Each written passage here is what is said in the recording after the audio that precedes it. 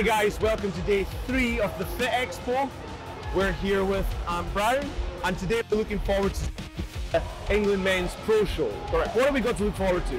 So we got a 300 kilo deadlifts, 340 kilo frame carry for 12 meters there and back. And we got stones going up to 190 kilos.